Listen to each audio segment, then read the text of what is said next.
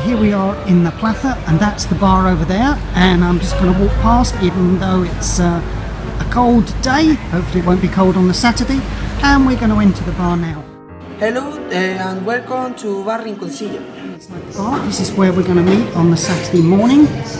Have a coffee here before heading up. We are entering up the staircase, and as you'll see, there are tables already laid out for us to use, um, bar stools, small tables overlooking the bar downstairs, and plenty of space for us to meet and to talk in English in Rincon Rinconcillo for Saturday. And I'd like to introduce you to one of the people you may get to talk English with. No, not him. He does speak really good English. Sit.